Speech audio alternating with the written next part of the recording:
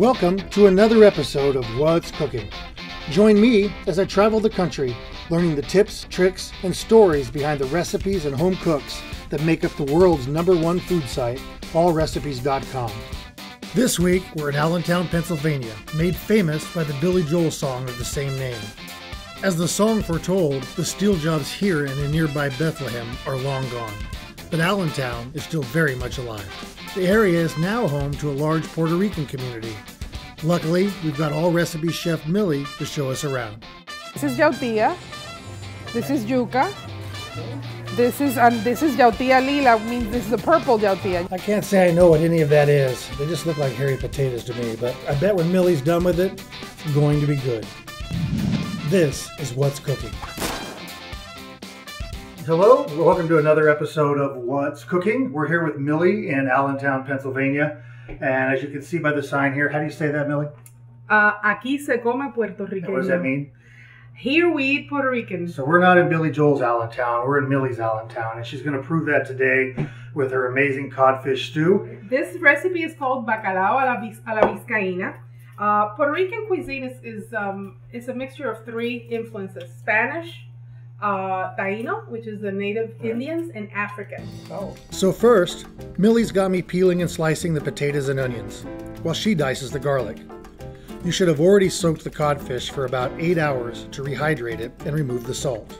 Well, you can always kind of, you know, try it a little bit, and if it's still really, really salty, then you probably need to, so, you know, change the water again.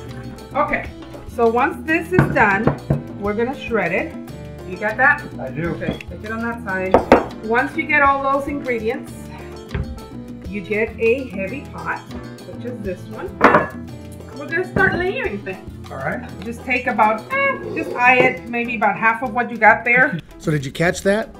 Take about half of the potatoes, half the onions, half the shredded codfish, hard-boiled eggs, capers, garlic, olives, roasted red peppers, and raisins. Then top it off with a bay leaf and a little tomato sauce and olive oil. Then do it all again with the other half of the ingredients. Finally, on top of everything, add some white wine and water. So once you get that, you cover it and take it to the stove. All right. Just bring it to a boil and simmer for about 30 minutes, and you've got yourself some authentic Puerto Rican codfish stew. All right, so while that's on the stove cooking for another 45 minutes, normally we'd call it a wrap, sit down, have something to eat, but this is a Puerto Rican kitchen, and so there are some rules that I wasn't aware of, and uh, it seems like Milly's got a few more surprises for us. So Yes. why don't you tell me about those? Yes, no meal will be complete without something sweet to eat. Mel? Okay? And um, one thing that we gotta have somewhere is coconut. So I made um, some coconut cheese flan, and actually is already done, but I'm about to flip it. And anybody who has made flan knows that the flipping of the flan it's an event. So you take a platter Okay. and you put it in there. Now, Drum is the flipping of the flan is very important. Sometimes there's caramel all over the place. I make no promises, okay? All right. So there you Drum go. roll, drum roll. Like it was Okay. Flawless. The flipping of the flan is very important. The flipping of the flan is very important. It came out perfect. Look at that. Isn't that There you go, gorgeous? Flipping of the flan. Okay. Perfect. Now there's still How do you some say perfect in Puerto Rican? perfect. Perfect. All right, here we are. Let's see how this tastes. Mm. Bon appetit. Very good, Milly. Mm, Very good.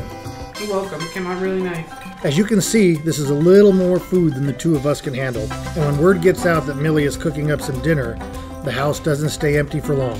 Join us next week as we visit another kitchen to see what's cooking.